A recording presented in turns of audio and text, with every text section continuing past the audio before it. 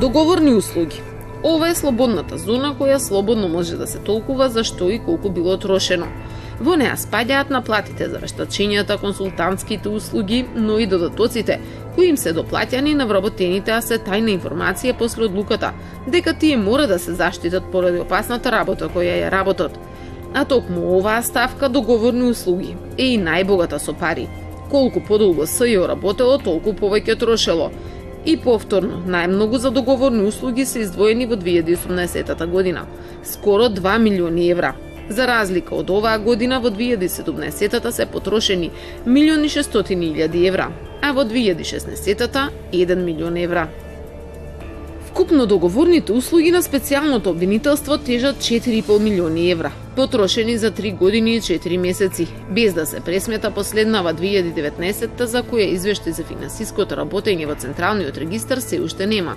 Се поизвестно и дека таков извештај вработените ќе срочат, оти на целото СЈО мандатот му истекува дури следниот септември, но уште поизвестно и дека Катица Јанева овој пат нема да го стави својот подпис на него, таа веќе не е на функцијата специјален јавен обвинител.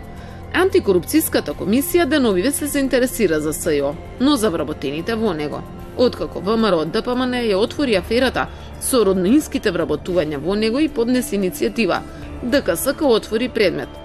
Ама за финансиското работење и можните манипулации со буџетот, според антикорупционерите, понадлежни се други институции но код се заинтересира и колку паралелно трошело Државното обвинителство за организиран криминал и корупција за време на мандатот на специјалното.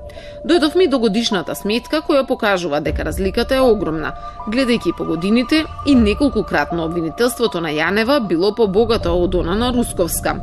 Вкупните приходи на обвинителството за организиран криминал во 2015 година биле околу 400.000 евра. Ова е и годината кога и се потрошени најмногу буџетски пари во анализираниот период – Најбогатата година на СИО пак беше 2018 во која се потрошени 3 милиони и 170 евра. Или ако се споредат, специјалните обвинители имале за 8 пати повисок буџет од оној на обвинителите за организиран криминал и корупција.